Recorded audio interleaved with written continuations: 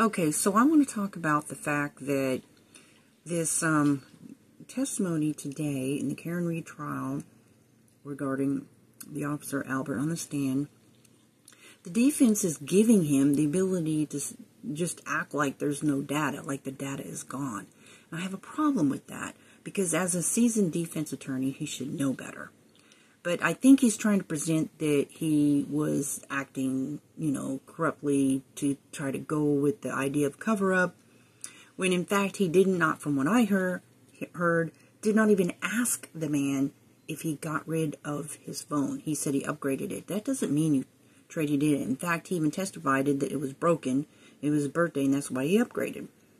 So, regardless whether or not he got rid of that phone, in an upgrade, which I don't think he did because he didn't even ask him, that doesn't mean any data is lost. So this is Scott Goldman, co-founder and CEO of TextPower Incorporated. Okay, a company that provides alerts and authenticated services using text messaging. It's he says, can you get the ask the question was, can you get text messages from old cell phones from five years ago? He says it's possible but highly unlikely. Now look what he says. Our company, and this is standard, is required by carriers to maintain records of messages for two years. Not the phone, not the person who owns the phone, the account, the phone number. The company is required by carriers to maintain records of messages for two years. So just because he upgraded his phone does not mean that data is lost. And there's this, and I'm not sure how accurate this is, but it says phone text communications are kept in federal archives for generations. Deleting them from your phone does not delete them. Your phone storage means nothing. The communication and context you've communicated will be held on record for like 100 years. That was February 2024, somebody said. Now, that doesn't make that that's accurate, but the point is, that is not lost. This would probably be more of an accurate answer. There's not a specific time frame for how long police can retrieve deleted messages in storage, service plan, type of phone, all are varying factors. They can still only access, access records that still exist. But when it comes to law enforcement, let's talk about that.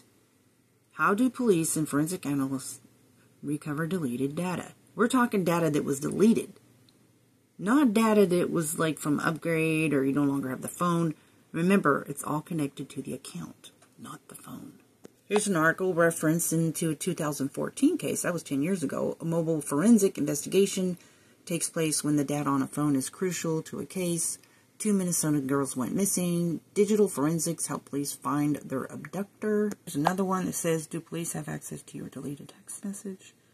If they really wanted them for legit reason, yes, absolutely. All they would have to do is subpoena your cell phone company You'll probably get the information emailed to them by end of business that same day. Here's another one. Active sworn peace officer. Yes, I've written and had approved plenty of search warrants for a suspect's cell phone, including their text message history from the carrier.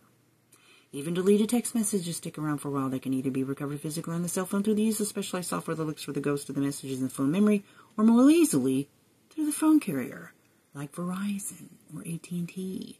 Phone companies usually keep logs of everything from texts, calls, data usages, and even GPS of the phone's current and past locations.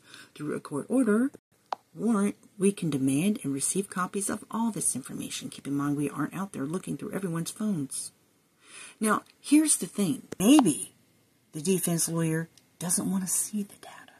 So maybe he rather push the idea that all the data's lost caused by their non-compliance with the court order to push that idea of the cover-up. And I'm not saying there's not a cover-up. I'm just saying to push something that's not true, that the data's lost, when you know that there's many times that they can receive that data from the phone carriers themselves, and you're not even trying to do that. Or maybe he did and was told that they didn't have it. I don't know. But all I know is he's trying to say that just because he upgraded his phone, that the data's lost. And he said that he believed that everything was transferred. So I don't know if they're just not getting stuff, but I haven't heard what his position on Did he subpoena the phone carriers for all of his records? I haven't heard that. Maybe somebody else has and would appreciate somebody to chime in and say, yes, at such and such time, I've heard this defense lawyer say that he subpoenaed the phone carrier company to get the data. That would be the first thing you do to try to get discovery. Not just rely on them to give you what they have. He can subpoena Duces Tecum, a phone carrier, to get all the data for a specific time period, get the judge to sign off on it, and that's how you get the data, people. So I don't believe, I don't accept that this data is gone. Now, he talked about the, the butt dial, if you will, um, that happened about the same time that um, allegedly Jen McCabe had Googled, around 2 something, Googled um, how long to die in the snow. This was about the same time that his phone mysteriously called um, the deceased. And my personal opinion and thought on that is that, okay, well, they did say at the prosecution that they're going to prove with his own phone, mean Mr. Keefe's phone, that he never made it in that house. Okay? And so if he's lying out there in the snow and he's, you know, calling them, and if they can pinpoint, ping his phone to a specific location, um, like out, you know, 20 feet away or 50 feet away whatever in the snow, then that would explain why he would have a mysterious accidental call to show that he wasn't even in his house. But that accidental call suspiciously happened around the same time that Jen McCabe allegedly did Google how long to die in the snow. So anyways, what do you think about this phone data? Have you ever been able to um, upgrade and keep your phone and have all the data still in your phone? And again, he transferred all his data. So I'm just really not understanding why this defense lawyer is not getting this data from these people. You know, are they being told that they don't have the data? Because that's not what I'm hearing. Did they at any time subpoena? Did they specifically subpoena the phone company? Because I haven't heard they did that. Maybe they did and I missed it.